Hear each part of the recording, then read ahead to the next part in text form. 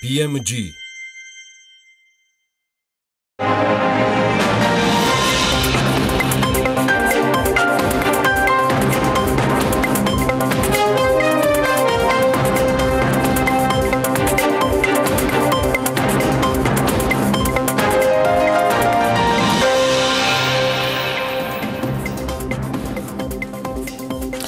წელს საქართველოს ეკონომიკა 4.5%-ით გაიზრდება, ნაცვლად ადრე ნავარაუდები 4.2%-ისა საერთაშორისო სავალუტო ფონდმა საქართველოს ეკონომიკური ზრდის პროგნოზი განაახლა.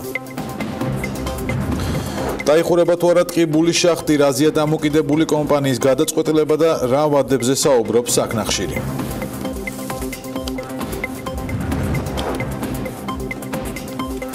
საღმომშვიდობის საქმის კურსი განაგზობს თქვენთვის მუშაობას და ამას ბექა ბაციკაძე გაუძღვება პროკავშირების ინიციატივით დღეს ჯანდაცვის სამინისტროში სამხრივი კომისიის რიგგარეშე სხდომა გამართა სადაც პროფესიული გაერთიანების მიერ წარმოქმნილ ინიციატივებზე იმ შელეს რომელიც ტყიბული შახტის დროებით დაკეტვას გულისხმობს შეწყდება თუ არა ტყიბულის შახტებში ქვანახშირის მოპოვება თელარა გელანდია მოგვიყვება თელარა საღმომშვიდობის რა შედეგი დასრულდა სხდომა? დიახ ბექა ერთ-ერთი მთავარი საკითხი სწორედ ეს იყო როგორც სხდომის დამთავრების შემდეგ მედიას ჯანდაცვის მინისტრმა განუცხადა მიღწეულია შეთანხმება, რომ შრომის საერთაშორისო ორგანიზაციის ექსპერტები ჩაერთონ ტყიბულის შახტის შემოწმებაში და დადონ რეპუტაციული ყოველთვის სანდო დასკვნამ შესაძლებელია თუ არა შახტში მუშაობა, ექვემდებარება თუ არა ის რეაბილიტაციას, თუ უნდა დაიხუროს მთლიანად. სამხრებ კომისიას შრომის საერთაშორისო ორგანიზაციის წარმომადგენლებიც ესწრებოდნენ ჯანდაცვის მინისტრს იმედი აქვს, რომ შემოწმების პროცესი ოპერატიულად დაიწყება რადგან აილო მსგავს მიმართვებზე ყოველთვის სწრაფად რეაგირებს.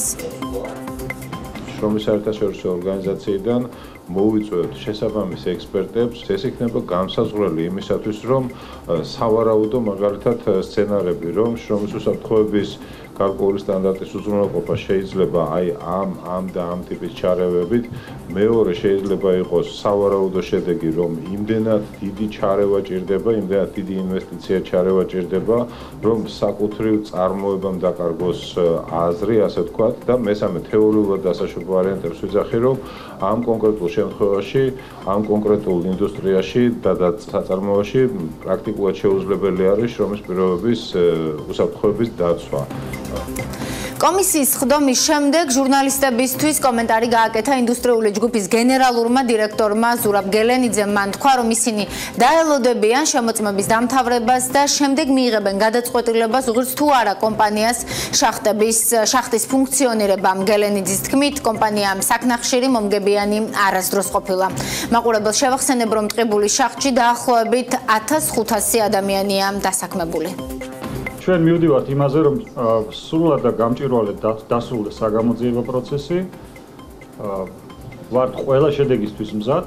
ამავდროულად წარიმართოს აუდიტის პროცესი, რომელიც ითქვის საერთოდ ღირს თუ არა ამ შახტაში ოპერირება და რამდენად უსაფრთხოა ნებისმიერი ღონისძიების განხორციელების შემთხვევაში ზოგადად ამ შახტის ოპერირება. სტრატეგიული გადაწყვეტილება გულისხმობს იმას, საერთოდ გვაინტერესებს ჩვენ ამ ბიზნესში ყოფნა თუ არ გვაინტერესებს. მოდით მე არ დავკონკრეტდები ახლა ძალიან არასწორი იქნება რაღაც ფინანსურ შედეგებზე საუბარი, თუმცა პირდაპირ შემიძლია მოგახსენოთ, რომ კომპანია მომგებიანი არასოდეს არ ყოფილა.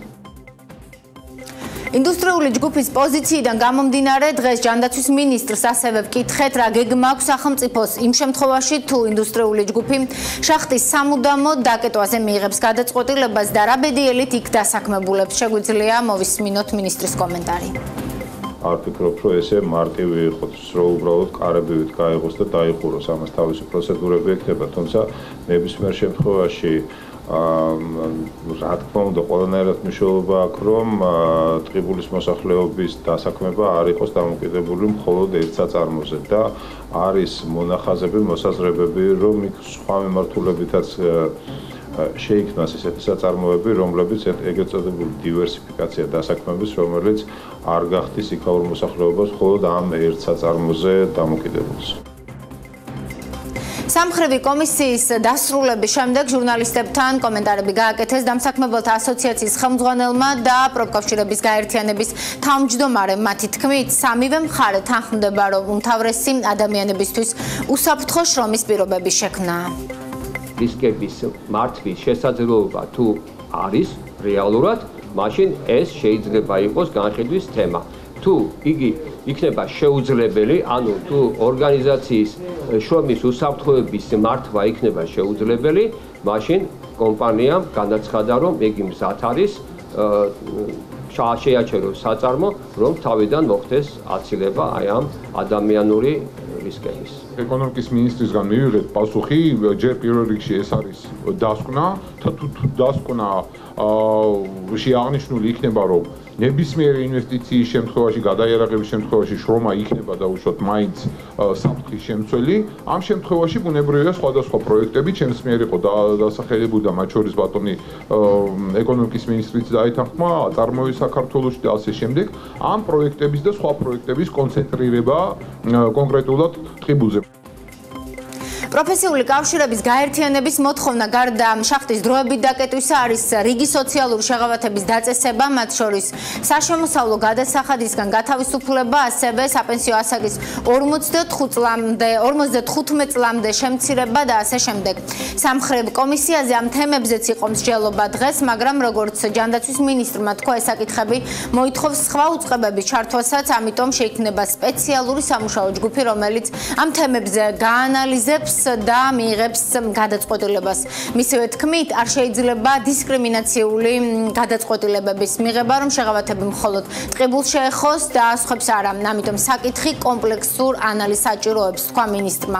რომ შევაჯამოთ დღევანდელი რიგარეშე სამხრევი კომისიის მთავარი შედეგი, მთავარი ამბავი არის ის, რომ დაიწყება შახტის შემოწმება აილოს ექსპერტების ჩართულობით და მხოლოდ მათი დასკვნის შემდეგ ინდუსტრიული ჯგუფი მიიღებს საბოლოო გადაწყვეტილებას და ხურავს თუ არა ტყიბული შახტს. მაყურებელს შევახსენებ, რომ იქ დასაქმებულია 1500 ადამიანი და ეს გადაწყვეტილება ნიშნავს ამ ადამიანების უმუშევრად დარჩენას.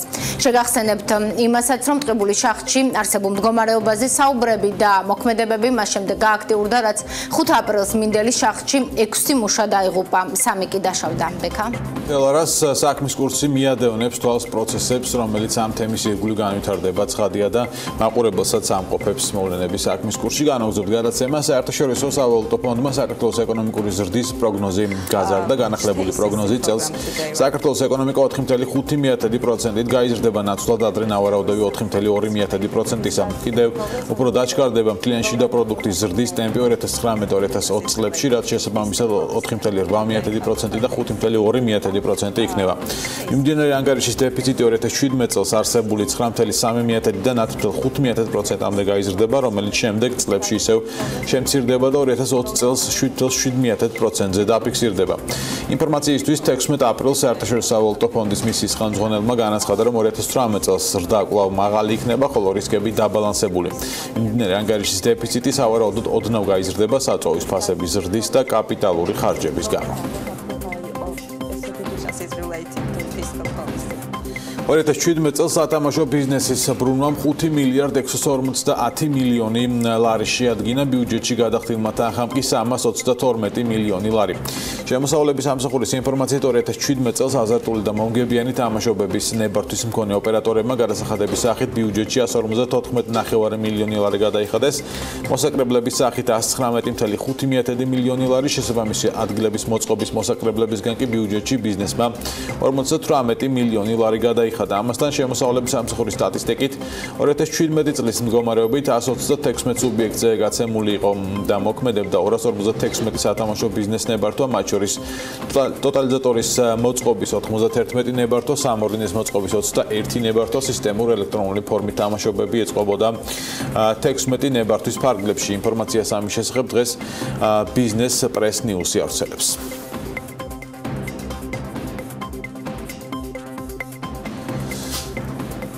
თბილისის მერიამ ღამის ეკონომიკის განვითარების კონცეფციაზე მუშაობა დაასრულა. ამის შესახებ თბილისის მერმა კახა კალაძემ განაცხადა, როგორც მან აღნიშნა, ღამის ეკონომიკის პროექტის კონცეფციის პრეზენტაციას რამდენიმე დღეში გამართავს. ინფორმაციისთვის ღამის ეკონომიკის პროექტის ხელმძღვანელად სერგი გვარჯელაძე თბილისის მერმა მიმდინარე წლის 7 მარტს წარადგინა, როგორც გვარჯელაძემ განაცხადა, მისი მთავარი მოვალეობა იქნება სახელმწიფო სტრუქტურები კომერციულ სტრუქტურებს დააკავშიროს, რათა ღამის ეკონომიკა განვითარდეს.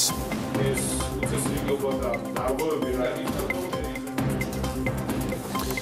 თბილისელების სამსახურს ყველაზე ხშირად ახლობლის ნაცნობის რეკომენდაციით იწყებენ დასაქმებულთა 55%-მა სამსახურის სწორედ ახლო კონტაქტების დახმარებით დაიწყო.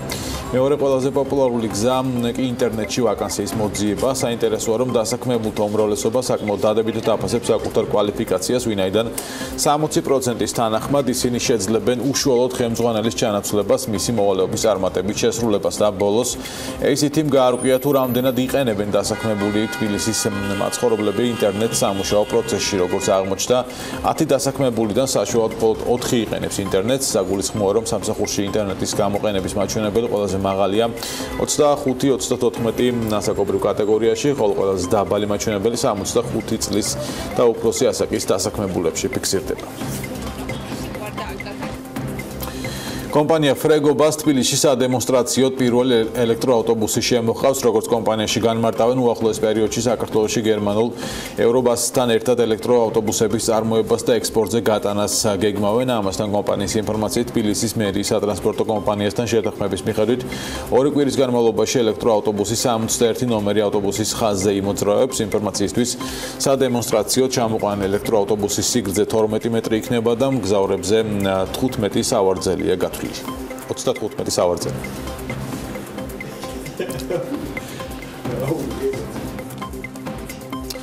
მსხვილი ავსტრიული სატრანსპორტო და ლოჯისტიკური კომპანია Gebrüder-Weiss საქართველოსი ტერმინალის გააფართოებაში დამატებით 2 მილიონი ევროს ოდენობის ინვესტიციას განახორციელებს. ამის შესახებ კომპანიის მმართველი საბჭოს წევრმა საქართველოს პრემიერ-მინისტრ გიორგი კვირიკაშვილთან დღევანდელი შეხვედრის შემდეგ განაცხადა, მისი თქმით, კომპანია საქართველოსი განხორციელებული ინვესტიციით კმაყოფილია და მიესალმება განვითარების იმ დინამიკას, რომელიც ქვეყანაში არსებობს. საქართველოს ბანკმა ტურისტებისათვის ტურისტ კარდის შექმნა, როგორც საქართველოს ბანკში აცხადებენ ვიზიტორი ბარათით მგზავრობის აფასურს მეტროში, ავტობუსში, სამოშთო ტაქსში და საბაგიროთი მგზავრობისას გადაიხდის. გარდა ამისა, ისარგებლებს ფასდაკლებით ტურისტულ კომპანიებში, სავაჭრო ობიექტებში, კაფე-ბარებსა და რესტორნებში, ასევე მუზეუმში. ტურისტ კარდის ტურისტ კარდი გადახდა შესაძლებელია ყველგან ნებისმიერი ბანკის პოსტერმინალით, ამასთან როგორც ბანკში განმარტავენ ბარათი 10 ლარი ღირს და ანგარიში შეძენის თანავე ივსება. გარდა ამისა, ტურისტ კარდის ტურისტ კარტს მოყვება საჩუქარი 1000 მეგაბიტი ინტერნეტი. ბარათი არის განკუთვნილი ტურისტებისთვის, მათი უფრო მათი არ ყოფნა რომ უფრო კომფორტული და ასე ვთქვათ საინტერესო გავხადოთ. ეს ბარათი ანგარიშწორება შესაძლებელი იქნება საქართველოსში ნებისმიერ ასე ვთქვათ მომსახურების სავაჭრო ობიექტში, როგორიც ასე ვთქვათ მუზეუმები, კაფეები, რესტორნები, სასტუმროები. ამის გარდა ბარათის ფლობელი მიიღებს დაახლოებით 30%, 15-დან 30%-მდე ფასდაკლებას ამ ბარათის სარგებლობის პირობებში. მისი შეძენა შესაძლებელი არის საქართველოს ბანკის ექსპრეს ფილიალებში და სხვა ასე ვთქვათ წერტილებში სასტუმროებში, თქვათ სუპერმარკეტებში. განსაკუთრებული აღნიშნის ღირსია საქართველოს ბანკის პროექტი, რომელიც ტურისტული ბარათის შექმნას გულისხმობს და ადამიანებს საშუალება ექნებათ როგორც ტრანსპორტში, ასევე ფასდაკლებებისათვის გამოიყენონ ტურისტული ბარათი, რაც რა თქმა უნდა საქართველოსში უცხოელი ტურისტების შემოსვლის დროს მათ მეტ კომფორტს შეუქმნის ჩვენ ქვეყანაში მოგზაურობისას. 119 ბაღის აღზრდელები ორშაბათიდან სასწავლო პროცესს დირსის კომპლექსში გააგრძელებენ. კომპანიაში აცხადებენ, რომ 700-მდე აღზრდელისათვის შესაბამისი გარემოს მოწყობა კომპლექსის ტერიტორიაზე მდებარე ერთ-ერთ კორპუსში უკვე დაწყებულია და ის მზად კვირის ბოლომდე იქნება. ბაღების მართვის სააგენტოში კი განმარტავენ, რომ იჯარისა და შესაბამისი სტანდარტების დანერგვისთვის საჭირო ხარჯებს სააგენტო უზრუნველყოფს. 119 ბაღი კუთნ ტერიტორიაზე სასწავლო პროცესს სავარაუდოდ წელიწად ნახევრის შემდეგ განახლებს. იქიდან გამომდინარე რომ ამ ბაღში ძირითადად ისნის მოსახლეობას დაყავს თავიანთი შვილები ეს არის ჩვენი უბნის პრობლემა ამიტომ ჩვენ შეგვიძლია რომ ბაღების ასოციაციას სააგენტოს შევთავაზოთ შესაბამისი ტერიტორია 700 ბავშვის განსათავსებლად. იქიდან გამომდინარე რომ არ შეფერხდეს ძალიან დიდ ხანს სააღბრძოლო პროცესი. ორშაბათამდე ვფიქრობ, რომ ჩვენ შეგვიძლია კომფორტული გარემო შევუქმნათ ამ ბაღის ბავშვებს. შობლების ინიციატივით შეირჩა კონკრეტული корпуსი დირსის კომპლექსში, სადაც 119 ბაღი დროებით განთავსდება. უზრუნველყოფილი იქნება უსაფრთხოების სტანდარტები და მინიმალური ნორმები. ამასთანავე მინდა გითხრათ, რომ გარკვეული პერიოდი დაჭირდება პროექტირებას 119 ბაღის, ანუ იმავე ტერიტორიაზე აქ აშენდება ახალი ბაღი თანამედროვე სტანდარტებით, დაახლოებით ამ ყველაფერს დაჭირდება წელიწადი და ნახევარი. ფაროსანასთან ბრძოლის სახელმწიფო პროგრამის ფარგლებში სპეციალიზირებული პიკაპების შესაძენა ტენდერი ხელახლა გამოცხადდა და სატენდერო პირობით 180 ერთეული ავტომობილის შესყიდვა გათვალისწინებული, რაშიც 10.7 მილიონი ლარი უნდა დაიხარჯოს მთავრობის განკარგულების მიხედვით, რომელიც სატენდერო დოკუმენტაციას ახლავს აღნიშნული პიკაპები შინაგან საქმეთა სამინისტროს. გადაეცეს შეგახსენებთ ორი თვის წინ გამოცხადებულ ტენდერში, რომელთაც შპს მექანიზატორს. რუსეთის ეროვნული სააგენტოსთვის სპეციალიზირებული მანქანები უნდა შეეძინა გამარჯვებული ვერ გამოვლინდა სოფლის მეურნეობის სამინისტროში განმარტავენ რომ შეწამული სამუშაოები შეუფერხებლად ჩასატარებლად მანქანების შინაგან საქმეთა სამინისტროსგან ითხოვეს. ეს პიკაპები სურსათის ეროვნული სააგენტოს ბალანსზე გადმოვა. შინაგან საქმეთა სამინისტროსთვის კი ახალ ავტომობილებს შეიძენა ტენდერში მონაწილეობის მისაღება წინადადების წარდგენა 4 მაისამდე იქნება შესაძლებელი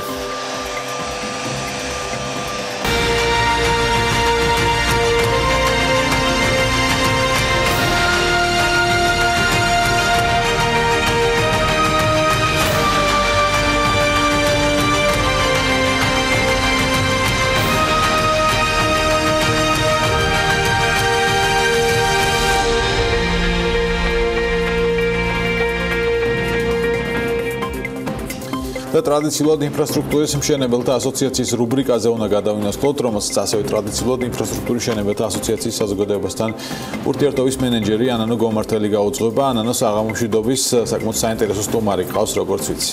ნამდვილად ძალიან საინტერესო სტუმარი მყავს ბექას აღამშვიდობისა. 28 წელი ბაზარზე 2500-მდე დასაქმებული ადამიანი, 100-ზე მეტი დასრულებული პროექტი, უამრავი ჯილდო დამსახურებული თანამშრომლები და კიდევ ბევრი საინტერესო ფაქტი, რაც შეიძლება საზოგადოებამ არ იცოდეს კომპანია ანაგის შესახებ და ჩვენთვის ინფრასტრუქტურის მშენებელთა ასოციაციისთვის ასევე ერთ-ერთი პირველი დამფუძნებული კომპანია და ჩვენი სტუმარი ანაგის დამფუძნებელი ბატონი ზაზა გოგოტიშვილი. მოგესალმებით ბატონო. დიდი მადლობა სტუმრობისთვის. მადლობა თქვენ მოწვევისთვის. ანუ ანაგი არის კომპანია, რომელიც მუდმივად შენების პროცესშია და მაინტერესებს როგორ დაიწყეთ თავდაპირველად და მოგვიყევით თქვენი განხორციელებული მიმდინარე და დასრულებული მნიშვნელოვანი პროექტების შესახებ თუ შეიძლება. სიამოვნებით კიდევ ერთხელ მადლობა მოგესალმებით მოწვევისთვის. კომპანია აი მომავალ წელს 30 წელს აღნიშნავს უკვე, ანუ 29 წელი. 29 წელი არის ერთი წელი მოგაკელი. საიუბილეო წელი გვექნება. ჩვეულებრივად ერთი ჯგუფი შევიკრიბეთ კურსდამთავრებულები საქართველოს პოლიტექნიკური ინსტიტუტი იყო მაშინ. ეგრეთ წოდებული კოოპერატივები იყო იმ დროს და ანუ დაიწყო ჩვეულებრივად დაიწყეთ ძიემოძიება საქმის და უამრავი დიდი გზა გამოიარა. ძალიან, ძალიან და ნუ დაახლოებით 4-5 კაციანი ჯგუფი დღეს ითვლის 2000 კაც, სტაბილურად 2000 კაც. აა დაახლოებით 150-მდე დასრულებულ პროექტს სხვადასხვა მიმართულებით, ძირითადად სამოქალაქო და სამრეწველო მშენებლობა და დღეს თუ დღევანდელ პერიოდს დღეს დაახლოებით 25 მიმდინარე პროექტია კომპანიაში. აი რა პროექტები შეგიძლიათ ჩამოგეცოთ ვიცი რომ საზოგადოება მიცის თქვენი პროექტების შესახებ თუმცა არის რაღაც განსაკუთრებული პროექტები ალბათ რომლებზეც თქვენს განსაკუთრებული მიდგომა თუმცა ხო შეიძლება ანალოგი არ იქნება ყველა პროექტი განსაკუთრებულია მაგრამ არის ნუ მასშტაბით და მნიშვნელობით მიმდინარე პროექტებიდან. აი ახლა ხან ჩავაბარეთ თბილისში საავადმყოფო ცენტრი თბილისი გალერეა საკმაოდ ჩვენთვის ისეთი მნიშვნელოვანი პროექტი იყო ეს დროშიც და ხარისხშიც. ქალაქისთვისაც? ამდენიმე საავადმყოფო ცენტრი ჩავარდა ბოლო ორი წლის განმავლობაში მათ შორის აი ის პოინტი გლდანში ეს რაც შეეხება საავადმყოფო ცენტრს. ამდენიმე სასტუმრო კომპლექსი ბათუმშიც როგორც ბათუმშიც ჰილტონი თბილისშიც რამდენიმე აი რიქსოსი. ეხლა ანუ რამდენიმე რამდენიმე სასტუმრო კომპლექსი მიმდინარეობს ეხლა. ერთდროულად დიახ ძირითადად კომპანია აი კერძო დაკვეთებზე არის ორიენტირებული თუმცა სახელმწიფო დაკვეთები დიახ თუ ხო სახელმწიფო დაკვეთებიდან ეხლა ნუ ყველაზე მნიშვნელოვანი პროექტს აღნიშნავდი ბათუმში 20000 კაცზე საფეხბურთო მოედანი თბილისში ქუთაისში უკაცრავად ქუთაისში აეროპორტის შენებლობა დიახ და და რამდენიმე დეველოპერულ კომპანიას ემსახურებით დაახლოებით 5-6 და ну როგორც ვთქვი საკმაოდ საინტერესო ქარხანასაც აშენებთ ეგ არის დიახ ჩვენთვის და ქვეყნისთვისაც ვფიქრობ ესეთი მნიშვნელოვანია როცა ქვეყნის ქვეყნის ტერიტორიაზე ესეთი როგორც აი ბოინგის გარკვეული დეტალები და ნაწილები მზადდება ჩვენთვის საიმიჯოა და ესეთი საინტერესო ანუ ეს იქნება ბოინგის ქარხანა თუ როგორ შეიძლება გარკვეული ხო რა გარკვეული დეტალები დამზადდება საქართველოსი ამ ქარხანაში რომელსაც აშენებთ. ნუ საკმაოდ რთული პროცესი ალბათ თელ საქართველოსში სხვადასხვა რეგიონში ამდენი მშენებლობის თქვათ მართვა და ისიც ესეთი მაღალი ხარისხით და აი თქვენ რამდენად ხართ უშუალოდ ჩართული კომპანიის საქმიანობაში? საბედნიეროდ არ ვარ ჩართული, საბედნიეროდ, იმიტომ რომ უკვე დაახლოებით 15 წელია რამდენიმე და 7 დეპარტამენტი მუშაობს კომპანიაში ყველა მიმართულებას თავისი ხელმძღვანელი ყავს, ჯგუფი ხელმძღვანელობს, დირექტორთა საბჭო ხელმძღვანელობს, ეს არ არის კომპანია, სადაც ერთი კაცი იღებულობს რაიმე გადაწყვეტილებას. ჩვენ ყველა პარტნიორები ვართ, აი წარმოებას უშუალოდობებს ხელმძღვანელობს ერთი პიროვნებას, ყველა მიმართულებას და აი კოლექტიურად, გუნდურად მიმდინარეობს გადაწყვეტილების მიღება და მართვა. თვითონ ამ მართვაში მე პირადად თუმცა არსებობს თითქოს ესეთი მოსაზრება, რომ თუ თავად არ ხარ ჩართული პროცესებში, ალბათ თავიდანვე იყავით და იმიტომაც მოხვედით დღემდე რაღაც წარმატებული კომპანიის სახელი. კი, ყოველდღიურ ცხოვრებაში ვარ ჩართული, თუმცა აი უშუალო გადაწყვეტილებებში ვარ, რაღაც კონკრეტული გადაწყვეტილება მივიღო, ამას ყველას თავისი დარგის სპეციალისტი იყავს და უშუალოდ ისინი ხელმძღვანელობენ 2000 2200 კაცია დღეს. და ნუ ამ საკმაოდ ესეთი ერთი და ორი კაცი. ანუ გარდა იმისა რომ ანაგის სახელს უმრავი პროექტი უკავშირდება ამასთანავე თქვენი პროექტები დაკავშირებულია თითქოს აღიქმება ხარისხიან პროექტებთან და ამ წლებთან ერთად არ კარგავთ ხარისხს და აი როგორ ახერხებთ ამას თქვა რა რამე არის სპეციალური რესეპტი თუ არა აა ჯერ დავიწყებ იმით ცოტა შესაძლოა გავაკეთებ რომ რომელიც განსაკუთრებული ამაყასი ამაყე թե შეიძლება მოგხსენოთ ანაკში დღეს სამი თაობა მუშაობს აი სამი თაობა არის მე პირველ თაობას წარმოვადგენ მეორე თაობა გაჩნდა და სამ აი კარგია რომ გაჩნდა მესამე თაობა ახალგაზრდებისას და აი თქვენ კითხოს გავცემ პასუხს ამ შექმნილ შექმნილია ეს მესამე წელია ხარისხის კონტროლის დეპარტამენტი რომელიც უშუალოდ პირველ აი ბორდს აი დირექტორთა საბჭოს ექვემდებარება და აბსოლუტურად 24 საათიან რეჟიმში სამშობთან წარმოებლის შემდეგ უწევს ზედამხედველობას ისევ ჩვენგან შიგნით სამშობთან წარმოებლის მიერ გაწეულ სამუშაოს. და ნუ ვცდილობთ რომ სანამ დამკვეთი მოგცემ შენიშვნას რაღაცა შეგნით შეგნით გალაგდეს და საკმაოდ ისეთი ვცდილობთ რომ აი ჯგუფი და ეს დეპარტამენტი გავაძლიეროთ და ყველანაირ ხელშეწყობა აქვს ამ ჯგუფს რომ ესეთი წამყვანი პოზიციებზე იყოს კომპანიაში. ამით მეტნაკლებად ვინარჩუნებთ დიახ ასევე როგორც ვთქვი შრომის უსაფრთხოებასაც საკმაოდ დიდ ყურადღებას უთმობთ რაც დღესდღეობით დიდ პრობლემას წარმოადგენს რაც ყველას ვცდილობ რომ ეს კითხვა დავუსვა. კი საკმაოდ საკმაოდ პრობლემური თემაა განსაკუთრებით ეხლაც რომ აი ბოლო მოვლენებს რაც წამოვიდა, ну საკმაოდ ისეთი მტკივნეული თემაა, შენებლობა ერთად რისკიანი პროფესია დითვლება და რაც აი მაქსიმალ მაქსიმალურ ვცდილობთ ცალკე დეპარტამენტია ჩვენთან აი შრომის უსაფრთხოების. ყოველდღიური ტრენინგებით, ყოველდღიური აი განმარტებებით, მისი გახსნა დილით არიწება ობიექტზე ბრიგადა არ გადის, სანამ არ ჩაუტარდება თუმცა სამწუხაროდ ბოლომდე მაინც არ ვარ დაცულები, მაგრამ მაქსიმალურად ვცდილობთ, რომ რა თქმა უნდა, თუმცა ახლა ბოლო ბოლო გადაწყვეტილებებმა და ბოლო დადგენილებებმა კიდევ უფრო გაამძაფრა და აი დამკვეთსაც უკვე სხვა მოთხოვნები გაუჩნდა. გარდა იმისა, აქამდე თუ ჩვენი ჩვენი ნება იყოს რა რა ფორმით დავიცავდით უკვე მოთხოვნები სხვა წამოვიდა და ალბათ კარგია რა, როგორ ფიქრობთ? კარგია, პირველი პერიოდი იქნება ცოტათი დაძაბულობა, მაგრამ მე მე დიახ, უკვე ყველა მივიჩვევთ, რომ ეს წესს მივიღებთ, რომ ესე უნდა იყოს. იყოს. თუმცა არის აი რაღაც კომპანიები იგივე თქვენი და რამოდენიმე კიდევ თქვა არ ჩამოთვლი, რომ რომლებსაც ვიცი, რომ აი სისტემურად რომ რაღაც ისე აქვთ აწყობილი, რომ როგორც ხედავთ, თქვა ისეთი შემთხვევები არ ხდება. ანუ ალბათ მინიმუმამდე ხო მინიმუმ ხო უამრავი გაუთავისინებელი თემები არის მაგრამ ვცდილობთ რომ მინიმუმამდე დავიყვანოთ э, განსაკუთრებული მნიშვნელობა ენიჭება მოკლედ ყველგან და უკვე ყველა კომპანია გარეთ რასაც ხედავთ აქციებს ყურადღებას რომ ხაზგასმით აქციებს ამას ყურადღებას. რა თქმა უნდა ნუ ეს ალბათ ერთ-ერთი ყველაზე მნიშვნელოვანია მით უმეტეს.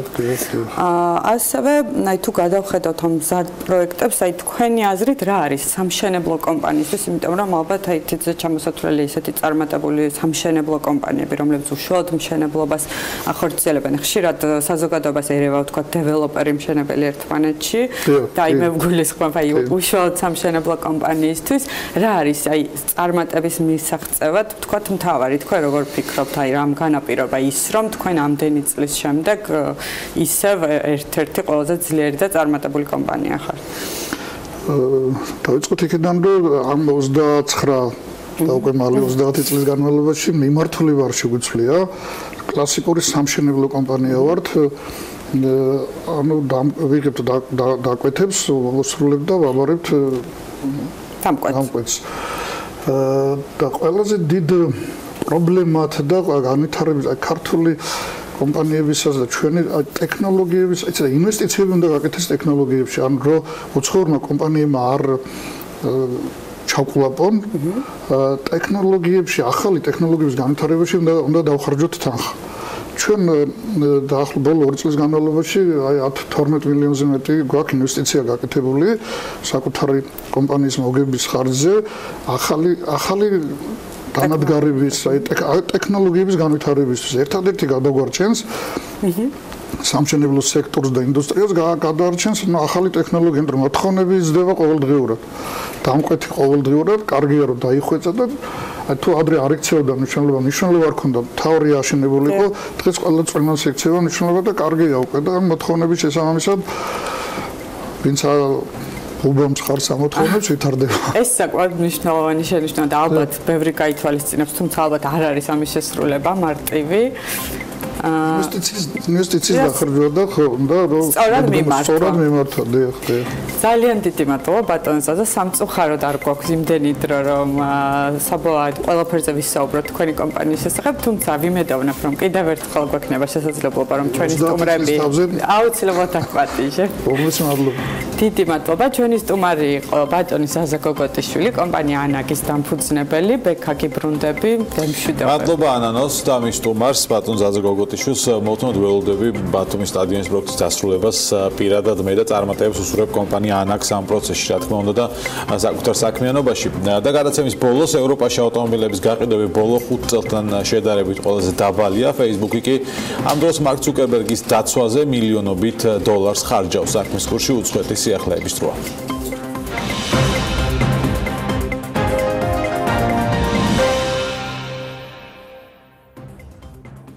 დიდ ბრიტანეთში ინფლაცია მოსოლოდნელზე მეტად 2.5%-ამდე დაეცა მარტის თვეში. მაშინ, როდესაც თებერვალში მისი მაჩვენებელი 0.2%-ით მეტი იყო. სახელმწიფო სტატისტიკის დეპარტამენტის მიერ გამოქვეყნებულ ინფორმაციაში ნათქვამია, რომ ყველაზე მეტად ფასების ცვლილება თამბაქოს, ალკოჰოლსა და ქალის ტანსაცმელს შეეხო. ევროპაში წელს 5 წლის განმავლობაში ყველაზე ცუდი მაჩვენებელი დაფიქსირდა ავტომობილების გაყიდვების კუთხით. ინფორმაციას Bloomberg-ი ავრცელებს და ამბობს, რომ მარტში ტოპ 10 ყველაზე მოთხოვნადი ავტომწარმოებლების პროდუქტი შემცირდა. სიაში შედიან ისეთი კომპანიები, როგორიცაა Ford, Fiat, BMW, Nissan და სხვა. მიუხედავად იმისა, რომ Facebook-ის დამფუძნებელმა მარკ ცუკერბერგმა ბოლო 1 წლის განმავლობაში ხელფასის სახით 1 დოლარი აიღო კომპანიას მისი შენახვა 2015 წლიდან მოყოლებული 20 მილიონი დოლარი დაუჯდა. თანხაში შედის როგორც მისი ადვოკატისთვის, ასევე მოგზაურობის, კვების და საქმიანი ვიზიტებისთვის გათვალისწინებული ხარჯები. ელონ მასკის კუთვნილი კომპანია Tesla Model 3-ის გამოსაშვებად 24 საათიან რეჟიმზე აპირებს გადასვლას. ამის შესახებ ინფორმაცია თანამშრომლებს პირადად კომპანიის ხელმძღვანელმა აცნობა. მისი თქმით, ყოველკვირეული გამოშვება 6000 ერთეულზე უნდა ავიდეს ივნისის თვეში, რისთვისაც კომპანია საკმაოდ დიდი დატვირთვით მუშაობა მოუწევს. შეგახსენებთ, რომ კომპანიას წინასწარ აქვს მიღებული შეკვეთები, რომლებიც 2019 წლისთვის უნდა იყოს მზად.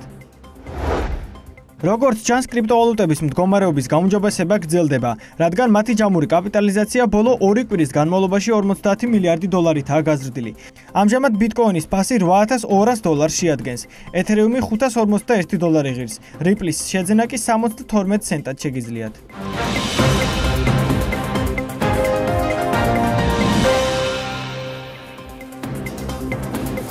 საქმის კურსი ასრულებს სამუშაო დღეს და სამუშაო კვირასაც ხვალტევ პირველზე ანალიტიკა გელით მეორე შაბათამდე გემშვიდობებით. ნახვამდის